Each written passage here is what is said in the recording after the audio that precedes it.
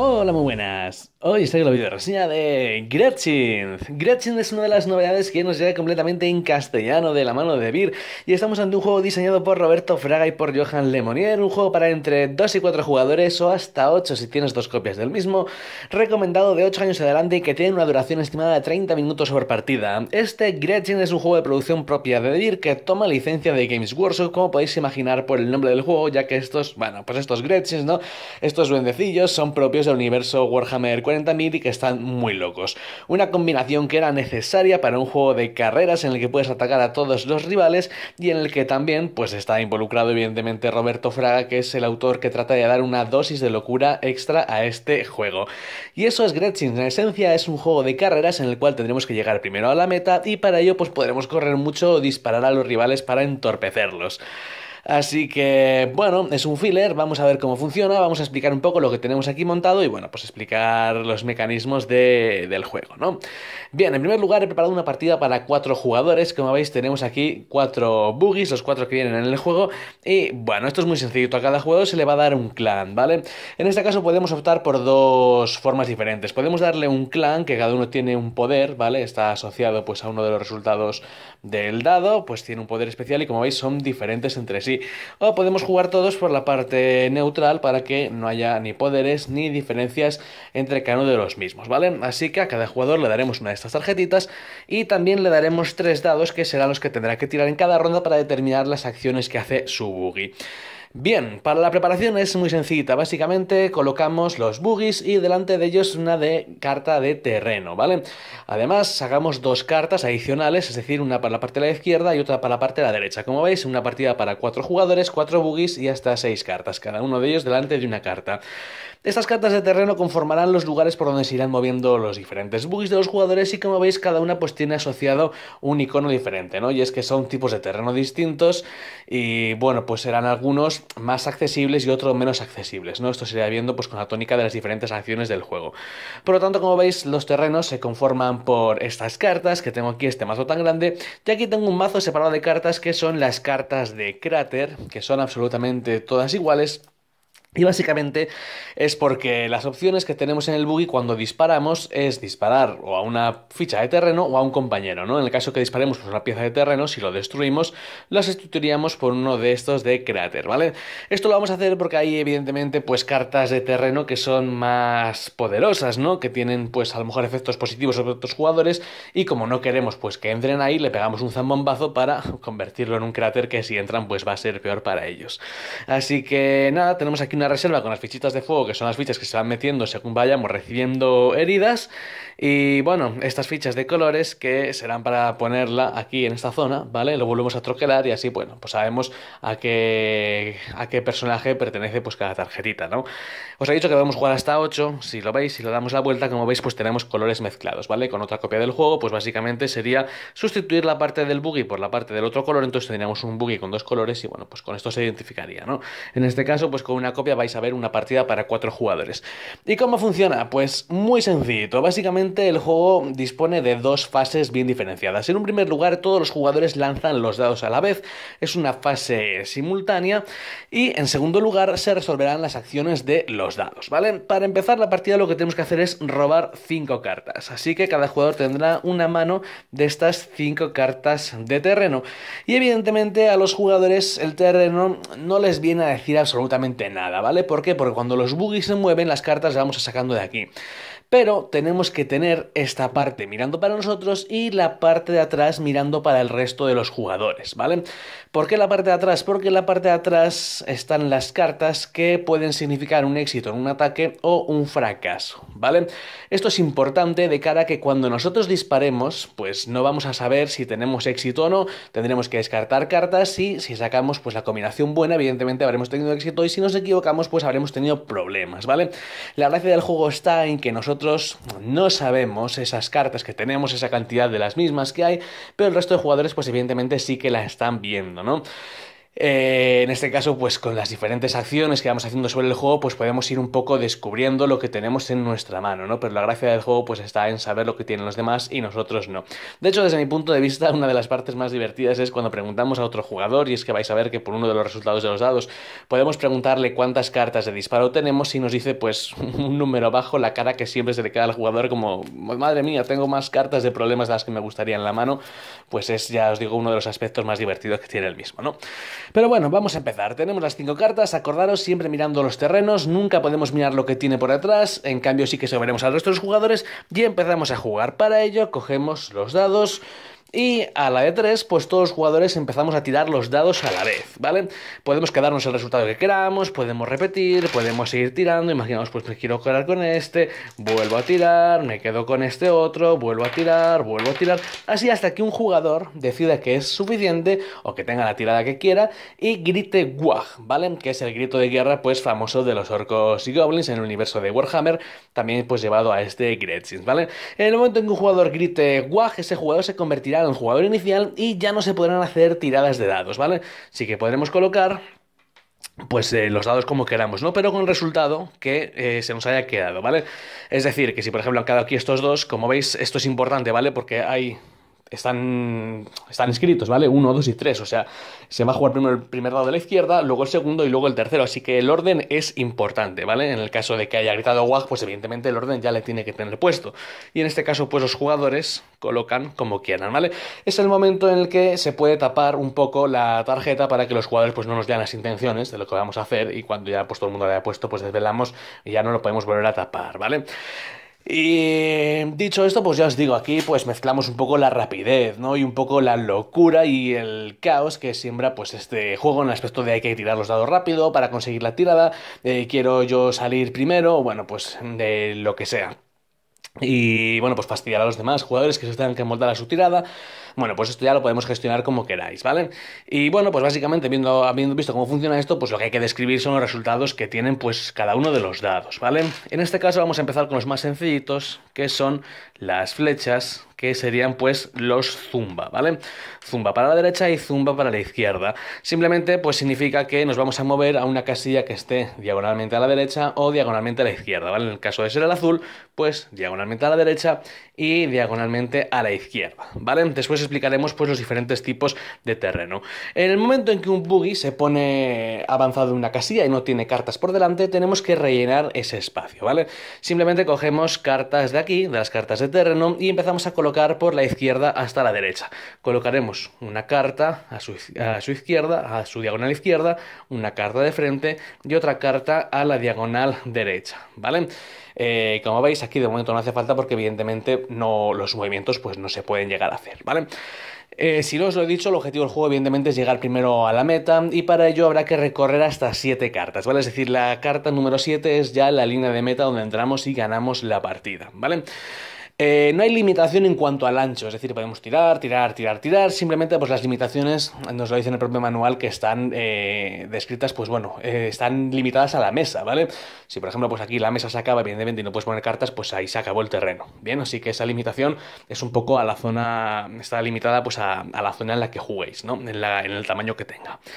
Bien, eso con respecto al movimiento. Más acciones que podemos hacer, pues sencillita. Como veis con esta, pues robamos dos cartas, ¿vale? Simplemente cogemos las cartas y acordaros que si siempre es sin mirar, ¿vale? Solo podemos ver la parte del terreno, no podemos nunca dar a la vuelta. Y por lo demás, ¿qué tenemos? Tenemos el DACA, que es la acción de atacar con cada uno de estos dados que tengamos, podemos llevar a cabo un ataque. Bueno, no podemos, no, debemos de llevar a cabo un ataque, ¿vale? Y digo debemos porque las acciones son siempre obligatorias, ¿vale? Es decir, que imaginaros que hemos hecho una tirada rápida y nos ha caído un resultado que no queremos, ¿vale? ¿Por qué? Porque, por ejemplo, pues imaginaros que estamos aquí y esta carta pues es un cráter. El cráter nos va a quitar cartas y es que no nos queremos mover, pero claro, tenemos aquí en la tirada del zumba de izquierda, nada, hay que moverse y comerse pues la penalización, ¿vale? Lo mismo pasa con el ataque. Si tenemos un ataque, tenemos que atacar por narices. Y en este caso tenemos que elegir o bien cualquiera de los otros bugs de los jugadores o bien una carta de terreno. Eh, ¿Cómo funciona? Pues tenemos nuestras cartas y lo que tenemos que hacer en el caso de que queramos atacar a un buggy de un jugador, tenemos que coger de nuestra mano dos cartas, ¿vale? Pues cogeré, por ejemplo, esta y esta y las doy la vuelta. Si tengo esto, pues mal, ya nos ha ido mal la cosa, ¿vale? Es que hemos tenido problemas, algo se ha atascado en nuestra torreta, nos ha ido mal y nos comemos uno de daño, así que tenemos que ponernos unas llamas en nuestro coche, ¿vale? Además el ataque, pues, eh, huelga decir que no ha tenido efecto. Pero si por lo contrario hemos mostrado dos cartas, ¿vale? De disparo, pues el ataque ha tenido éxito. Le meteríamos una ficha de llamas al rival, ¿vale? Si sale uno de disparo y uno de problemas, también la cosa ha ido mal, ¿vale? Es decir, que para que salga bien, tiene que haber dos de disparo juntas, no puede haber ninguna carta de problemas. Además de esto, hay una carta que es la de explosión, no hay muchas, ¿vale? Vamos a mirarla por aquí. Esta, que esto ya pues sería fatídico, ¿no? Que saliese. Y es que si sale esto, lo que tenemos que hacer es descartar toda la mano, ¿vale?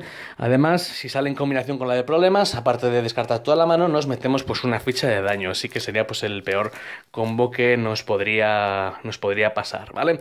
En el caso de que queramos atacar una carta de terreno, en lugar de tener que revelar dos cartas, tenemos que revelar una, ¿vale? Es decir, es un poquito más sencillo y la mecánica es la misma. Si sacamos el disparo, pues tiene éxito y si sacamos pues el problema, nos comemos uno de daño y evidentemente pues no tiene éxito.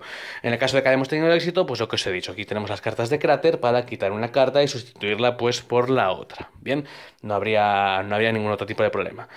Eh, vale, pues eso con respecto al DACA, que es pues la acción de atacar del juego y de interactuar con el resto de los jugadores. Más acciones que tenemos, tenemos la de el ojo de Morco o el ojo de Gorko. Y básicamente esta acción pasa por preguntarle a otros jugadores eh, cuántas cartas tenemos de disparo en la mano, ¿vale? Y aquí siempre nos tienen que decir la verdad, ¿vale? O sea, nosotros tenemos, estamos así y le preguntamos al jugador de enfrente, ¿cuántas cartas de disparo tenemos en la mano? Y él pues nos dirá, pues tres. Tienes tres, ¿vale? Entonces nosotros ya sabemos que de estas cinco hay dos cartas que, bueno, pues que son un poco sospechosas, ¿vale? Que no puede que funcionen del todo bien. Y de esta manera, pues, eh, según vamos avanzando y descartando cartas o robando nuevas, pues nos podemos hacer un poco a la idea de el porcentaje que podemos tener de éxito a la hora de realizar un ataque o no, ¿vale? Evidentemente, desde que tengamos más cartas de disparo en la mano, pues más posibilidades tengamos de que el ataque salga bien, ¿bien? Y nada, por último, pues tenemos la, la, cara del clan, ¿vale? Que sería esta, que es una cara que en este caso pues no tendría efecto porque estamos jugando sin clanes, ¿vale?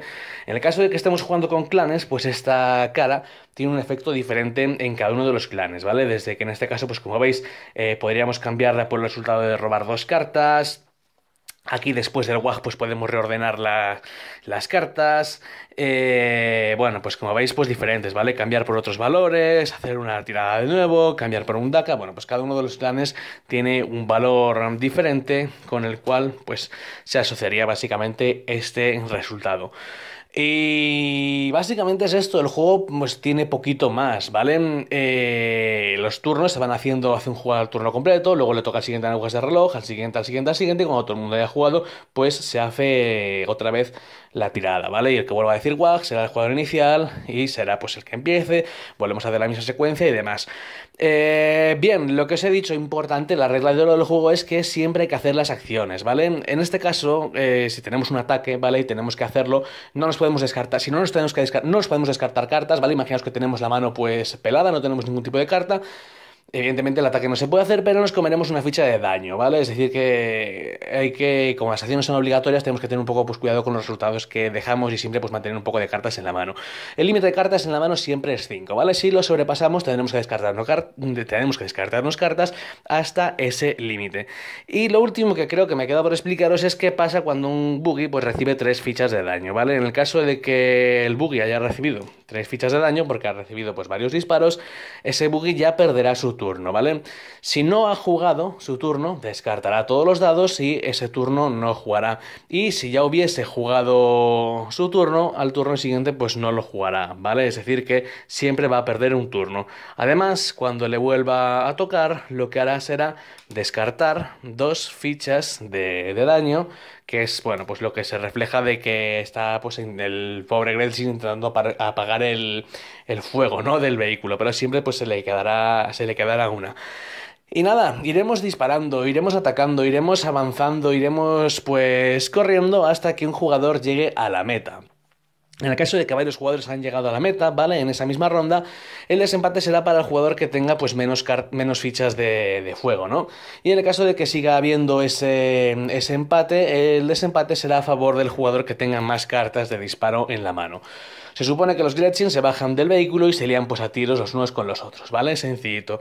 Y nada, pues dicho esto, lo que queda es explicar un poco las cartas, la iconografía que tenemos, que también son pues eh, bastante sencillitas y bastante claras, ¿no? En este caso, pues como veis, lo que hacemos es robar una carta del mazo, pero con la peculiaridad de que la podemos mirar. Es decir, que vamos a saber, robaríamos y vamos a saber lo que hemos robado. En este caso, pues una carta de disparo. Eh, bien, por contra, pues tenemos esta, ¿no? Que aquí pues nos diría que robamos cuatro, pero que no podemos mirar. Así que son a, pues son eso, al cubierto, ¿no? No sabremos qué cartas robaremos. Eh, bien, luego pues aquí perderíamos una carta, ¿vale? Eh, aquí, esto es una carta de terreno despejado. Esto es importante, porque cuando nos movemos en una carta de terreno despejado, podemos seguir moviendo, ¿vale? ¿Qué quiere decir esto? Que si entramos en una carta que no sea de terreno despejado, tendremos que hacer la acción y no podremos utilizar más zumbas que tengamos para más adelante, ¿vale? Es decir, que la única posibilidad de movernos más de una vez por turno será a través de las cartas de terreno despejado. Si no, no podremos movernos más, ¿vale? Es decir, que si nos hubiésemos movido aquí, por ejemplo, con esta tirada, imaginaos, pues bueno, que estamos así, que esta sería nuestra tirada, hemos entrado con este dado, y con este, pues nos tendríamos que mover, bueno, estando aquí tendría que haber una carta aquí, ¿vale? Evidentemente, para poder moverse este resultado ya no le podríamos aplicar. ¿Por qué? Porque no estamos en una casilla de terreno despejado, ¿vale? Es decir, no nos podríamos seguir moviendo después de habernos movido con anterioridad. Así que es importante también tener en cuenta estos movimientos a la hora de, bueno, pues tratar de llegar un poco más rápido que los demás. En el mejor de los casos, pues nos podremos mover hasta tres casillas, ¿vale? Y bueno, pues como veis se limita esto a coger cartas o a descartar cartas, eh, tanto sea mirándolas o sin mirar. En el caso de entrar en el, cráter, pues nos tenemos que descartar dos cartas de la mano. Y bueno, pues más cartas especiales, como por ejemplo tenemos aquí este charco, que si le pasamos, pues nos quitamos una, una ficha de llamas, ¿vale? Porque el, pues el coche pues eh, como que se le va un poco el calor. Y por último aquí pues tenemos la tormenta del caos, que es bastante poderosa y es que cuando entramos aquí básicamente le quitamos una carta a cada uno de los jugadores. Evidentemente acordaos que nosotros estamos viendo ese dorso de la carta, estamos viendo qué tipo es, si es un disparo o un problema, así que cogeremos la carta que más nos interese. Y básicamente estas son las cartas que nos podemos encontrar, así que ya sabéis, iremos avanzando, ¿vale? Y ah, una cosa que se me olvidaba, eh, puede haber colisiones, ¿vale? Es decir, que por ejemplo, pues el coche azul está aquí, el rojo está aquí, se tenga que mover. El movimiento es obligatorio, le tiene que hacer, pero como hay aquí otro jugador, pues no puede llegar a entrar. Y como no entra, pues es como que hay un choque y ambos jugadores tienen que descartar una carta, ¿vale? Así que solo un buggy por casilla. Y nada, nos vamos moviendo, nos vamos moviendo, vamos avanzando. La línea 7 es la línea de meta, que es donde colocaremos la caja al principio de la partida y el primer que lleve, pues es el que gana la partida. Así que nada más, como veis, es un juego bastante sencillito, con unos toques de caos que le hacen pues divertido y para toda la familia, ¿vale? Por así decirlo, en el que se nota, pues bueno, un poco la mano de Roberto Fraga, ¿vale? Se han juntado, pues, Roberto Fraga con el universo loco de Warhammer 40.000 y sobre todo, pues, estos Gretchins y, bueno, pues esta es eh, lo que nos puede ofrecer, ¿bien? Así que nada, vamos a contaros ahora lo que, cómo han sido las partidas, lo que nos ha parecido y, bueno, pues un poco lo que podéis esperar de este Gretchin. Bueno, pues después de haber visto cómo se juega este Gretchen, llega la hora de contaros un poco cómo han sido las partidas, las valoraciones y lo que nos ha parecido a nosotros este nuevo filler de cartas ambientado en el universo de Warhammer 40.000. Me he cansado ya de decir en el unboxing, en la videoreseña todo el tiempo que se nota realmente la mano de Roberto Fraga en este juego, ¿no? Estamos ante un juego que tiene sus propias características y su propia dosis de locura, lo cual es completamente necesario en un juego en el que el protagonista es un Gretchen, ¿no? Si conocéis un poco lo que es el universo de Warhammer, pues sabéis que estos pequeños goblins diferentes, espaciales por así decirlo, pues tienen instintos suicidas, kamikazes, están pues un poco locos y zumbados y la verdad es que vienen francamente bien y pegan muy bien en un juego de velocidad locos en el cual pues todo el mundo se pega de disparos y estamos atravesando los desiertos del caos en el cual pues las cartas también hacen que haya configuraciones diferentes y que bueno pues no todas las zonas sean igual de seguras o de peligrosas, ¿no? En este caso pues hay muchos terrenos distintos y se nota esta variedad a lo largo de ir jugando diferentes cartas.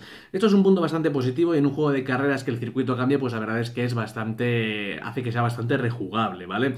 Eh, hay un montón de cartas, lo cual hace que cada vez que vayamos por un lado o por otro, pues vayan a salir diferentes combinaciones de terreno para que evidentemente pues no tengamos dos carreras del mismo formato. Por lo demás, es un juego que realmente ofrece lo que, lo que promete, ¿no? Es Roberto Fraga, ha puesto su dosis de caos al juego, en este caso pues el que todo el mundo juega a la vez y el que tira los dados y que está todo el mundo deseando y tirando rápido para conseguir eh, la tirada perfecta, la tirada que quiere, pero también quiere acabar cuanto antes para que el resto de jugadores pues se tengan que amoldar a la tirada que simplemente les ha salido, ¿no? En este caso, pues esa, dosis de locura se transmite en esta en este ritmo frenético a la hora de tirar los dados, en el que todo el mundo, pues eso, está básicamente corriendo, lanzando los dados a toda velocidad, cogiendo, lanzando de nuevo. Bueno, pues es eh, el aspecto, uno de los aspectos más divertidos del juego, ¿vale? Y desde mi punto de vista, como os he comentado en la reseña, el otro aspecto interesante y el que más gracia, por lo menos, nos ha hecho en todas las partidas, es cuando un jugador con la habilidad del ojo de Morco, pues, o de Gorko, pregunta a otro cuántas cartas de disparo tiene y te dice, por ejemplo, una, y tiene cinco cartas en la mano, ¿no? En ese caso, pues verle la cara al jugador es un auténtico poema de decir, madre mía, tengo aquí un montón de problemas en la mano, no puedo pegar eh, tiros sin que me coma yo daño, bueno, pues eso es eh, realmente lo gracioso, ¿no? Esa temática de jugar, esa mecánica, perdón, de jugar con las cartas al revés es la esencia del juego, ¿vale? Es un Gretchen, o sea, va a coger la torreta, va a disparar y no sabe si va a dar a su propio buggy o va a salir volando o bueno, qué es lo que va a pasar y está pues eh, en este caso metido ¿no? en ese trasfondo, lo ajusta con esta mecánica tan loca que tenemos y lo convierte pues eso en un juego de carreras alocado y disparatado en el cual pues puedes lanzar una, un ataque contra una carta de terreno, que te salga mal, que tu coche salga volando porque ha estallado por que haya acumulado tres llamas, bueno pues en definitiva pues puede pasar todo tipo de cosas que bueno pues la imaginación en la cabeza es lo que lo que puede dar de sí, ¿no? En este aspecto pues imaginar todo ese caos, todo el mundo cogiendo los dados y lanzándolos a la vez, corriendo de un buggy para otro. Es interesante también y bueno, yo creo que relevante en este aspecto pues esa dosis de locura de que los coches no se mueven en línea recta, ¿vale? Sino que van haciendo pues zigzag, ¿vale? Así que os podéis imaginar cómo sería una carrera de estas características, con estos buggies armados hasta los dientes, con esa torreta disparando balas para todos los lados y que os digo que algunas den y otras que no. Así que nada más, es un juego muy sencillito, es un filler que se juega rápido, que deja sensación de querer jugar otra carrera, eso creo que está bastante bien, y que se puede jugar perfectamente pues como antesala o sobremesa de jugar pues un juego más largo, ¿vale? Los 30 minutos de la caja yo creo que están bastante bien ajustados, incluso se puede decir que las partidas duran un poquito menos, también dependiendo de lo que los jugadores pues les tiren, ¿no? Depende si van más rápidos o van más despacio, pero sí que en torno a esa media hora sí que suelen andar bastante bien y bueno, un juego en el que se puede dar muchos piques, porque puedes atacar a todo el mundo, en el que habrá venganzas, en el que habrá, bueno, pues eh, vendetas, como lo queráis llamar, y que probablemente pues se alarguen a, varias partidas, a varias sesiones de juego. Y nada más, esto es lo que trae este Gretchins, esta novedad de, de Beer, una gran adaptación del universo de Warhammer 40.000, reflejado con ese dosis de humor y esa, ese toque de locura que hacen falta en este estilo de juegos. Y eso, con la posibilidad de pues, poderlo jugar hasta 8 jugadores si tienes dos, dos copias de juego, ¿vale? Yo no lo he podido probar, pero tiene que ser eso una locura, ¿no? Si todo el mundo ahí se dispara, pues a más, a más jugadores, pues evidentemente más disparos, más locuras, y bueno, o sea, pues puede ser el, el caos infinito, ¿no? Así que eso es lo que os puedo decir respecto a Gretchins. Espero que os haya gustado, que no me haya dejado de nada en el tintero, que creo que no. Y como siempre, pues si tenéis cualquier tipo de duda, abajo tenéis el cajón de los comentarios donde podéis preguntar lo que queráis, lo que os apetezca, la duda que os haya quedado sin resolver, que estaré como siempre ahí para contestaros a vuestras preguntas. Y por mi parte nada más, espero que os haya gustado el vídeo. Nos vemos en el siguiente. Un saludo y hasta pronto.